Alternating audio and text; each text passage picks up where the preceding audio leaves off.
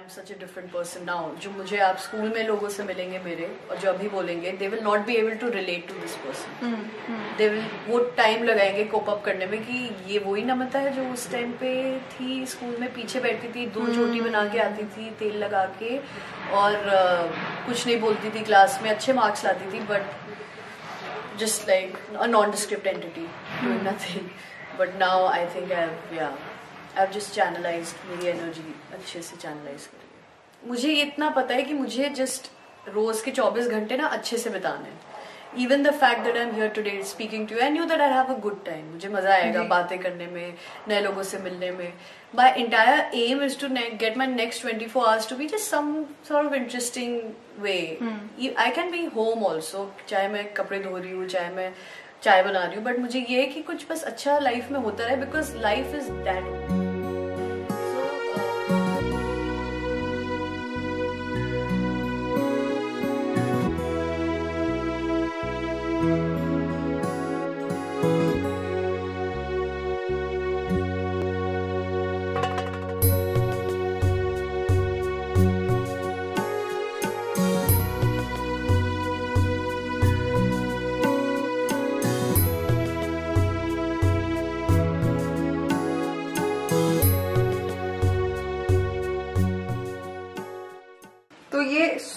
work pursue करने से acting करने का जो ट्रांजिशन हुआ वो क्यों हुआ और कैसे हुआ और कब हुआ? I was doing social work उसका भी मैं बता दूँ कि सोशल वर्क में बिकॉज़ आप इतने लोगों से मिलते हैं you are meeting people you are interacting with real life issues of people because मैंने अडॉप्शन एजेंसी में काम किया स्ट्रीट चिल्ड्रन के साथ किया है. In fact for one family I help them adopt a kid right from the beginning I did the research I got them to meet the child institutionalize बच्चे कैसे होते हैं. सब there was a different kind of life we were living. But my people skill became a lot better you know interacting with people having a conversation eye to eye or just um, uh, just being with people made me hmm. comfortable hmm. in this. Hmm. So for me acting from there became a not a natural choice i would say. Not every social worker decides to become an actor. But it became a more easier path because अभी मैं लोगों से मिल जाने में comfortable थी और acting में you have to meet new people sometimes every day of your life चाहे ऑडिशन पे हो चाहे सेट पे हो चाहे मेकअप टीम हो चाहे आपके डायरेक्टर हो प्रोड्यूसर हो तो आपको नए लोगों से तो मिलना ही पड़ता है। तो एक पीपल स्किल जो है वो मैंने टेस्ट से सीख ली थी। बट उस टाइम पे very very dear friend of mine वो खुद एक्टर बन रहे थे। तो मैंने उनसे बोला कि क्या होता है एक्टिंग के ऑडिशन वगैरह? तो उन्होंने बताया कि अंधेरी आराम नगर ऑडिशन होते हैं तो मैंने कहा मुझे भी देना है। एंड uh, मैंने दिया और मुझे लगा ये तो अच्छी चीज़ है। तो मैं अपने प्लेसमेंट में बैठी ही नहीं I just made up mind की let me just try for acting मैं बता रही हूँ क्योंकि अगेन कॉम्पनसेशन क्योंकि बचपन में कुछ किया नहीं तो I was like acting is the मतलब the ultimate most coveted thing in this. Country it's more difficult to become a successful consistent actor than i'll say an ias officer Yes. today because you are putting your life on stake like every day. आप अपनी personality हर चीज़ बाहर लेके आ रहे हैं right तो मैंने कहा ये चूज़ करते हैं. This is the toughest thing that I can choose and I feel better about my also lost opportunities in life so I decided become an actor and from there मेरे दोस्त को दोस्त को के साथ जहाँ पे जहाँ ऑडिशन होते थे वहाँ चले जाते थे. And I started getting work so I told my parents and then they were happy about it या सो दिस तो वहाँ से now this this is a question that comes to everybody's mind जब यहाँ तक सुना होगा ना उन्होंने, वो पूछ रहे होंगे, आसान रहा? स्ट्रगल नहीं था क्या? स्ट्रगल तो हर जगह होता है। स्ट्रगल तो अभी भी चल रहा है।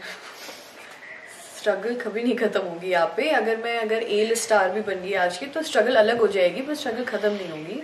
I might have better problems today than I had seven years back when I started जो उस टाइम पे कोई नहीं जानता था। तो स्ट्रगल ये थी कि लोगों को बताए कैसे कि I exist look at me I exist and I was convinced of the fact that the only thing that stopping between me and the audience and for them to see my greatness is these these auditions these test these screen test these producers like बस एक बार screen पे आ जाओ फिर लोग जब देख लेंगे then they will know that I am a good actor but to get to that I took like say three years because उसमें बहुत रिलेंटलेसली audition किया हर चीज़ के लिए।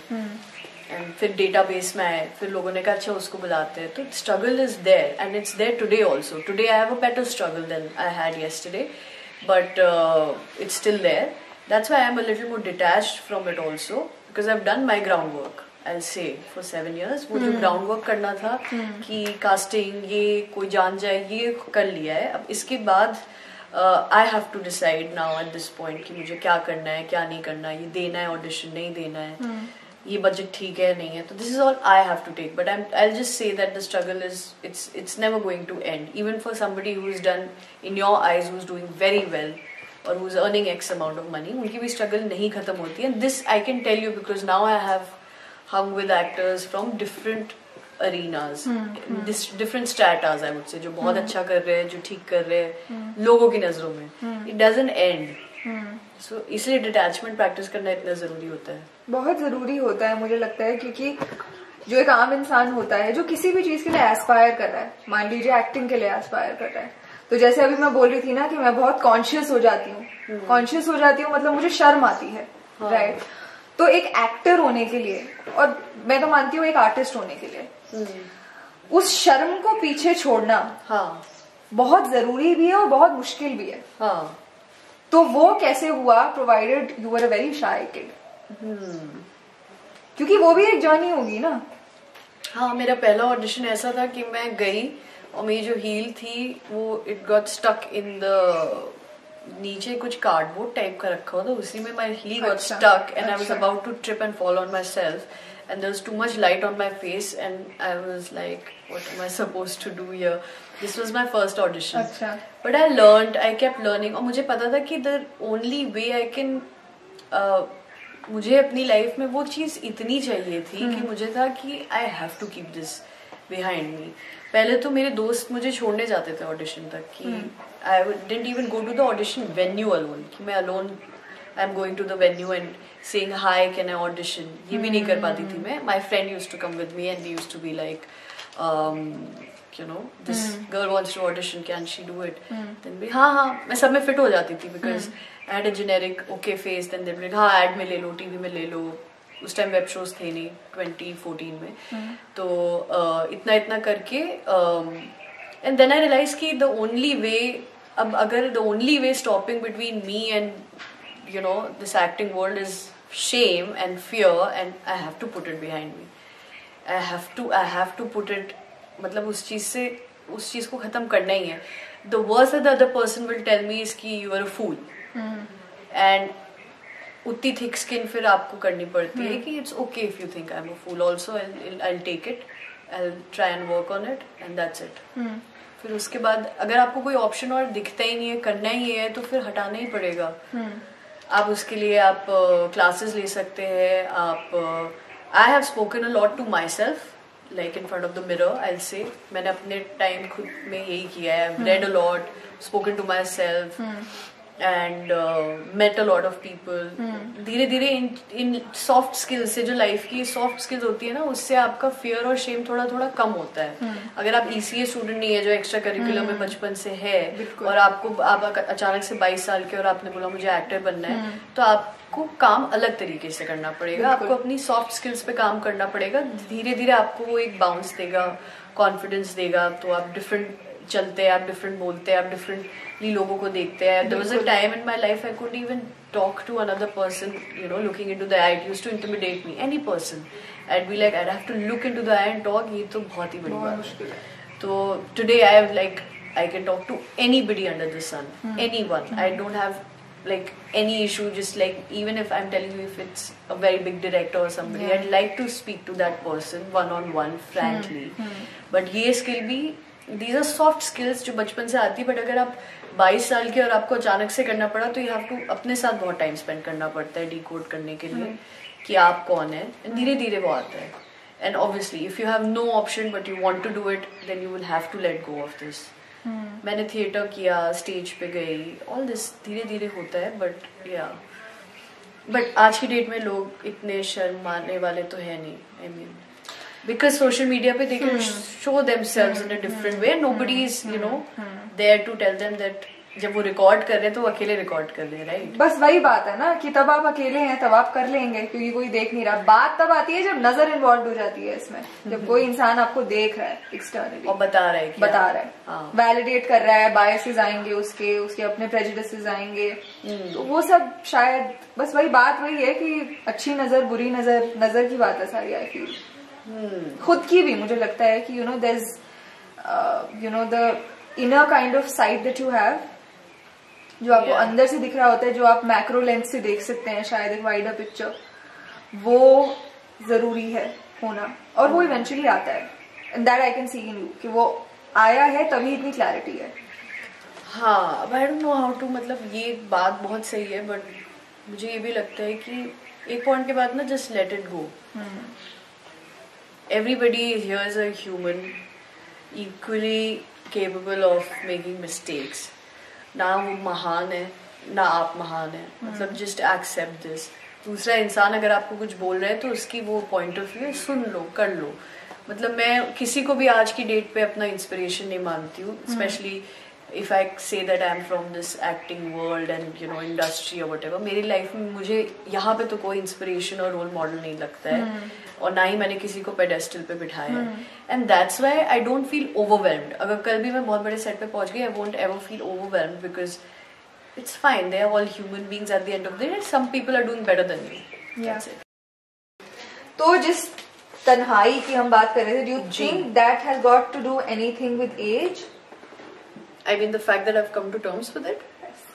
मैंने मैंने यही बोला कि अभी की डेट में I like myself a lot more तुम somebody has also said i think sadhguru said it um, but i don't want to take the chance of uh, misquoting anybody that if you feel terrible alone then you're in wrong company my friend so i don't want i'm not the wrong company for myself i'm good company for myself i like myself now Mm.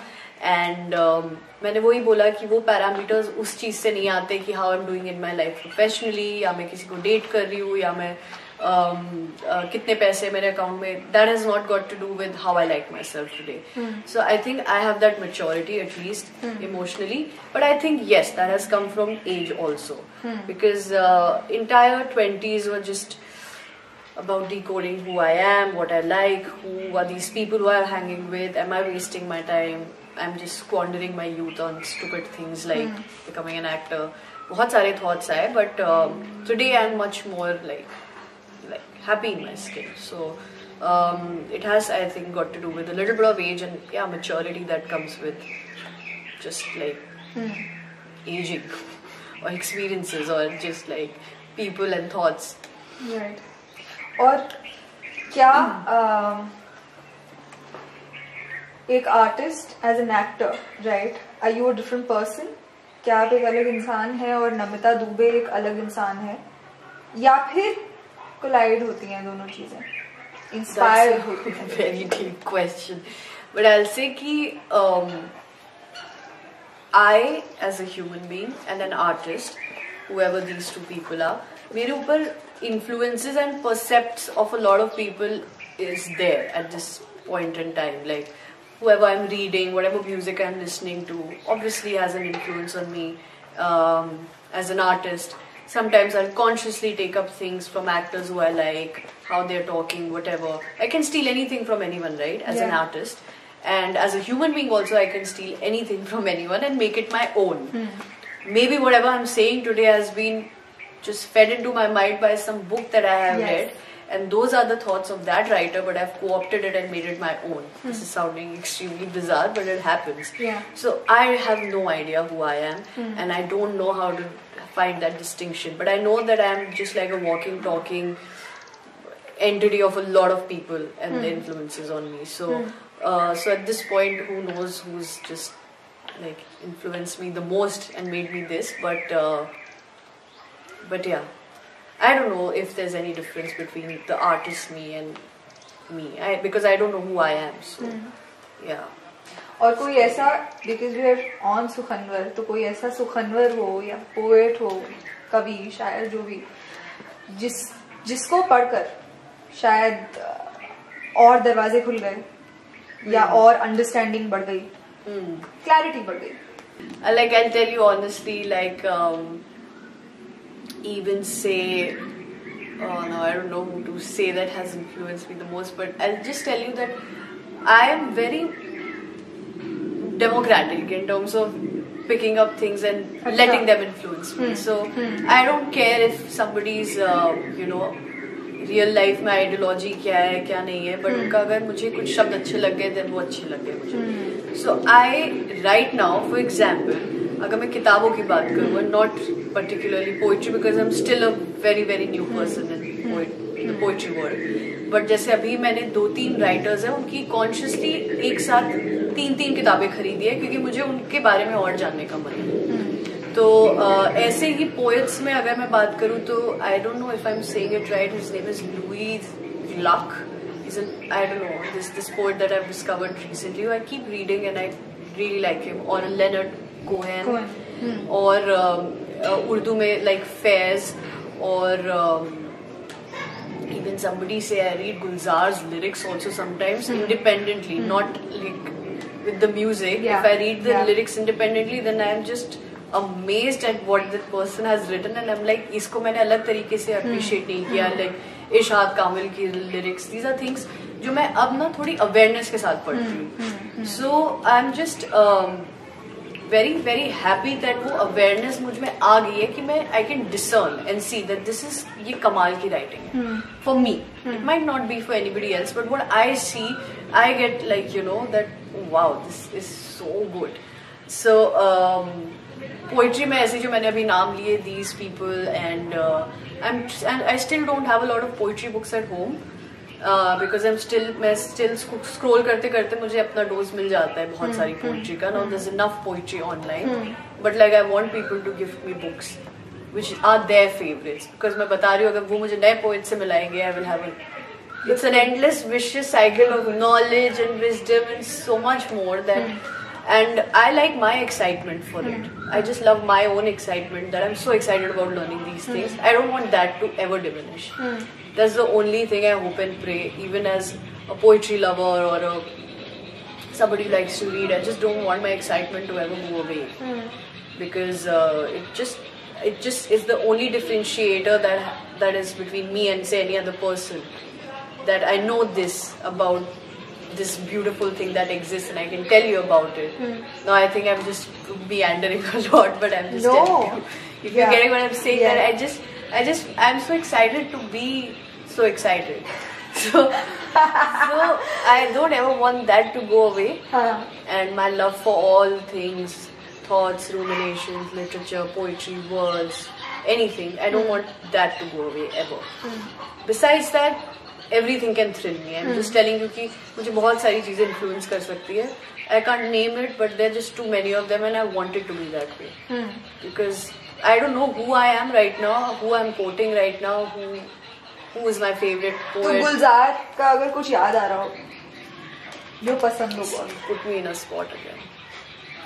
उनका जो iconic है मेरा कुछ सामान I think that is what is it make you feel pathos melancholy that sense of being uh, that sense of separation मेरा कुछ सामान say the lines because I don't want to मेरा कुछ सामान तुम्हारे पास पड़ा है हाँ मेरा वो सामान मुझे लौटा दो if I don't sing कागज़ के कुछ भीगे भीगे दिन रखे हैं So these are things which एक are से which exists between two people mm-hmm. and the other person wants you to return that time that you spent that which is not possible but it just shows so much of pain and you know that just that separation and distance and just return it to me because i want it back because i just gave it to you so in so much of love or whatever so yeah that that like just imagine if somebody was to read this as just poetry then they would have a different because it's a song i think people lose that sense of that वो words के क्या शब्द mean कर रहे हैं वो भूल जाते हैं but Gulzar is amazing I have discovered this so late in my life but I am still finding my I still I am as willing to get amaze by them तो पुराने गाने चाहे नए गाने तो I just sometimes read lyrics and sometimes I hear songs differently कि अरे ये लाइन कितनी सुंदर लिखी है। I was not this person से two years back I am this person now yeah तो ये सारी बातें जो है मुझे लगता है अगर हम इसे एक गिफ्ट बॉक्स में गिफ्ट रैप करें तो इसका जो एक बॉटम लाइन बनेगी। सारी चीज़ें अगर उबाल दें तो एक ही चीज़ बचती है वो है प्यार। करेक्ट राइट तो मुझे नहीं पता नहीं आपसे ये सवाल किसी ने पूछा है नहीं पूछा है बट मैं पूछ लेती हूँ। कितना विश्वास करती हैं ये एक बहुत ही ज़्यादा प्योर बहुत ही ज़्यादा मतलब जिसे कहते हैं ना जिसकी एसेंस ही इतनी ज़्यादा खूबसूरत है। खूबसूरत दर्द में भी खूबसूरत होता है right so how much you believe the power of healing of love मतलब क्या वो सच में मर्ज की दवा बन सकता है? मोहब्बत क्या है? प्यार क्या है? ऑफ़ कोर्स बन सकता है। जिन्होंने एक्सपीरियंस किया वो तो I am telling you it's difficult to find words to explain this also कि how it can do it but definitely मतलब लाइफ का जो सबसे I am telling you that I want to fill my life with only my ones and love and everything to do with love that's how i want to fill my time. And time also giving anybody your time is also a form of love right? Absolutely मुझे तो बस ये लगता है कि of course healing power love की बहुत है। लोग बोलते हैं कि love is the greatest intangible love is skill it's not just enthusiasm it's something जिस पे आपको काम करना है मेंटेन uh, करना होता है. डिफरेंट डिफरेंट चीज़ें बोलते हैं but as a healing power of course उससे बड़ी healing power there is nothing like I mean if you talk to a person who's just been heart broken then all those sad songs will make sense to you if you had a breakup you listen to all those sad songs you were like कि इसका मतलब तो you just enjoying it then you start reading into those songs and then you like like, "Yes, it all makes sense." ये होता है. You feel physical ache in your heart if you are heartbroken. You feel uh, mentally at you know आपको लगता है कि कुछ कुछ गलत हो रहा है आपके साथ फिजिकली अगर आपका you know something happens to your loved one और आपके specially if you it's a partner that you chosen in your life उनके साथ कुछ सही नहीं हो पाता है obviously it will just it affects you so deeply जिसका मतलब कोई हिसाब नहीं है तो या So much to say on love But have you been healed? Have, have I been healed? Yes, of course. I've had uh, some turbulent times in the past, and uh, uh, अब अब तो लगता है कि good that it happened to me so that I could see the uh, extent to which I can love also someone. Yes. And uh, good that I got uh, over it also in time. क्योंकि वो भी बहुत ज़रूरी है। If you are अगर आप उस hell hole में चले गए कि आपको ठीक ही नहीं होना है उस चीज़ से hmm. बाहर नहीं निकलना है hmm. तो you are not doing yourself a favour तो अगर like if it's even if it's your heart that's been broken then you need to come out of it at some point and address the reality as as practical and just non sincere it sound but it is just like so important to do that या तो आखिर में कोई अपना पसंदीदा गाना सुना दीजिए हमें आपको लगता है कि मैं गाना गा पाती हूँ मुझे लगता है आप सब कुछ कर सकती है मैं गाना बता सकती हूँ कि मुझे कौन सा सुनना है देन मे बी यू चले आप बता दें top three songs songs. Songs. Now see Hindi again songs. you put me in a spot because. I'm I am somebody who doesn't have any favorites of anything. Hmm. But I'll tell you top three now that we were talking about Gulzar. I think um, दिल से के songs Gulzar ने लिखे हैं। So I love as लवी टू भी कवी then I love कहना ही क्या फ्रॉम बॉम्बे मनीषा कोराला वाला वो song and I am so nineties या then give me nineties number या because I don't know, just get any यार रहमान गुलजार शाहरुख के गाने शाहरुख के गाने I tell you okay cheesy song जो मुझे बहुत अच्छा लगता है वो है um, छुपाना भी नहीं आता। ये बहुत इस सॉन्ग में डेप्थ ही डेप्थ है if you go into it but कौन सा गाना है ये? आई थिंक पंकज उदास ने गाया विनोद राठौड़ ने गाया है. दो अच्छा। इसके वर्जन आए थे. इट्स फ्रॉम बाजीगर अच्छा हाँ छुपाना भी नहीं आता बताना भी नहीं आता. हमें तुमसे मोहब्बत है. जताना भी नहीं आता. हाँ हाँ हाँ हाँ हाँ। ये this song is also epic वाह वाह। Such an eclectic mix I've got. Absolutely cocktail and very lethal, potent one at that. All love songs at the end of the day, but. All of them, all of them. I think the essence of everything is love only because that's where life springs from, right? Correct.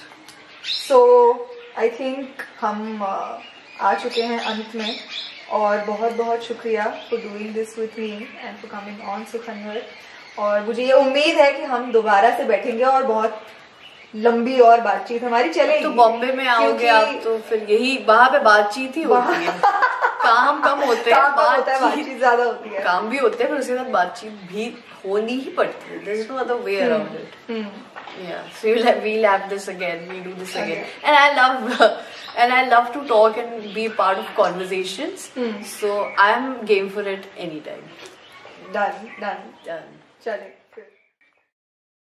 बहुत बहुत शुक्रिया ये conversation ये episode देखने के लिए। अगर आपको ये एपिसोड पसंद आए तो इसे लाइक शेयर सब्सक्राइब कीजिएगा। इसे लाइक शेयर सब्सक्राइब नहीं चैनल को सब्सक्राइब कीजिएगा और लाइक और शेयर कीजिएगा। और नमिता के फैंस तो डेफिनेटली आ जाएँ कमेंट्स में, क्योंकि नमिता ने काफ़ी इक्लेक्टिक मिक्स दिया है हमें। और पसंद आया या नहीं आया, या आपको जो भी मैसेज नमिता के लिए छोड़ना हो, वो आप कमेंट्स में छोड़ सकते हैं। अगर आप इस एपिसोड को किसी ऑडियो प्लेटफॉर्म पे सुनना चाहते हैं तो आप इसे सुखन पर सुन सकते हैं। सुखन ज़िंदा रहे।